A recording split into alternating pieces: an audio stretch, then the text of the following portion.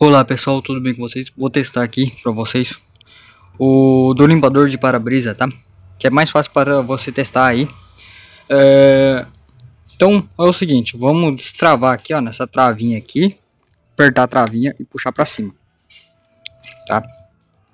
Tirado aqui com o multímetro, vamos colocar em alguma desses lados aqui, tá? Eu vou colocar aqui já eu volto aí para vocês. Tamo aqui, pessoal. Coloquei aqui, ó, tá? Então agora vamos lá pro multímetro, lá dentro, tá? Eu coloquei lá dentro porque eu não tenho como testar aqui é, sozinho. Então coloquei lá dentro o multímetro, então vamos testar lá. Estamos já aqui dentro do carro aqui, pessoal.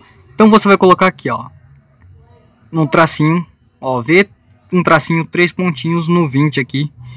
E a ponteira negativa você vai aterrar. Você já reparou aqui que tá dando 4.12, 11, 12, tá variando ele tá com a meia chave ligada, tá? Então tem uma tensãozinha de 4 e 12 nele. É, então o que, que a gente vai fazer aqui? Eu vou simular puxando aqui a maçaneta para jogar água no para-brisa. E com isso ele vai injetar lá, só que não vai injetar porque tá fora lá o conector que nós tirou. Então, reparando no multímetro que ele vai dar 11 aí. 11 e, 5, e varia aí, tá? Então, 11 varia. Então, essa tensão de 11 é a tensão que ele dá. É 11 e 12, tá? É, essa tensão de 11 é normal dele dar 11. Então, a partição elétrica do carro está ok. A partição elétrica tá boa, tá funcionando. Partição elétrica desde relé e fusível, tá? Então tá funcionando. Essa partição elétrica tá funcionando certinho. Mas ali, colocou naquele fio lá, aquele fio ali é positivo. Se a gente colocar no outro, o que, que vai acontecer aqui? Ele vai dar essa tensãozinha aqui, tá? Ele vai dar essa tensãozinha aqui. E aqui, na hora que você puxa, ele vai estar tá zero. E na hora que você puxar aqui, ele vai zerar tudo. Ele vai aparecer mais um zero na frente, vai zerar tudo, tá?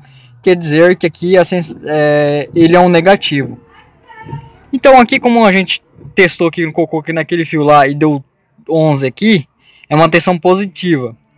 Então você já vai descartar aí a partição elétrica. Vai ser lá o motorzinho que não está injetando.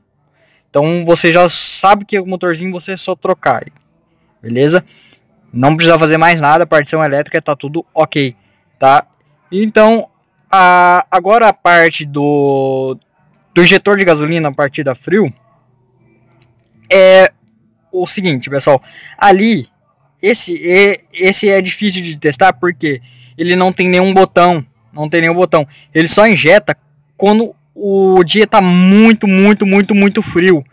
Então, é, é, difícil você fazer um teste. O que, que você pode fazer é tentar a, identificar qual é o fio positivo e negativo, puxar um fio para fazer a ligação. Eu vou fazer um vídeo sobre isso, tá? Então fique ligado aí no canal aí e Falou pessoal, até a próxima.